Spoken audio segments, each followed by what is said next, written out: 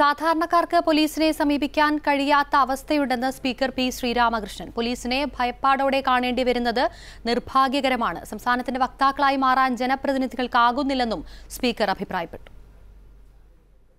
മുഖ്യമന്ത്രിയെയും മന്ത്രിമാരെയും ഒരുപക്ഷെ D G പിയെയും അതിന് താഴെയുള്ള ഉദ്യോഗസ്ഥരെയും കാണാൻ കഴിയുമെങ്കിലും അതിന്റെ താഴേക്ക് പോകുന്തോറും ജനങ്ങൾ ഭയപ്പാടോടുകൂടി പോലീസിനെ സമീപിക്കുന്ന സമീപനം ഇന്നും തുടരുന്നത് നിർഭാഗ്യകരമാണ്. ജനാധിപത്യത്തിന്റെ വികാസ പ്രക്രിയയിൽ നിർണായകമായ പങ്ക് വഹിക്കേണ്ട ഒരു വിഭാഗം വരുത്തേണ്ട മാറ്റങ്ങളെക്കുറിച്ചുകൂടി ഗൗരവമായ ആത്മപരിശോധന നടത്തേണ്ട സന്ദർഭമാണിത്. ഭരണ സംവിധാനം ഈ ദീർഘമായ അറുപത് വർഷങ്ങൾക്ക് ശേഷവും നമ്മൾ ആഗ്രഹിക്കുന്ന നിലയിൽ മുന്നോട്ട് പോകുന്നുണ്ടോ എന്നതും ബഹുമാനപ്പെട്ട സാമാജികർ പരിശോധിക്കേണ്ടതാണ്. വേഗതയാണ് ജനങ്ങൾ ആഗ്രഹിക്കുന്ന കാര്യം. എന്നാൽ വേഗതയെ തടസ്സപ്പെടുത്തുന്ന ഘടകങ്ങൾ മറികടക്കാൻ നമുക്ക് ഇന്നും കഴിഞ്ഞിട്ടില്ല.